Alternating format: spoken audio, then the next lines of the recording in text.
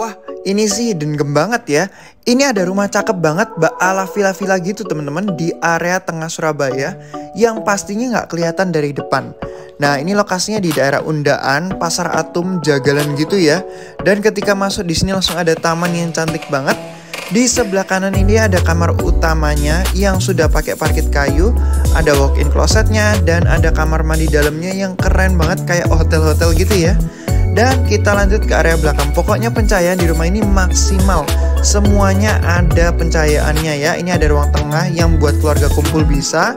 Ini ada kamar kedua untuk anak, dapur, area belakang terbuka lagi, dan ini kamar ketiga. Jadi rumah ini memang satu lantai ya, ada taman belakangnya juga tuh. Keren banget. Di sini ada gudang mini untuk penyimpanan gitu dan ini kamar mandi kedua. Luas tanahnya 9 kali 25 teman-teman, luas bangunan 185 dan yang pasti SAM harga under 3M.